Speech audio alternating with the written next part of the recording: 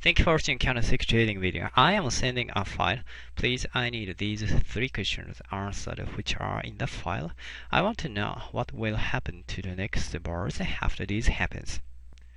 1. Higher high and then closed inside the previous bar body.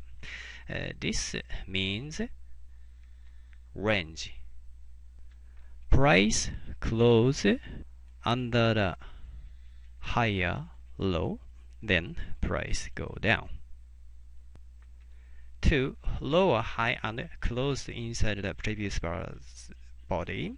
This means range. Price close previous higher high, then price go up.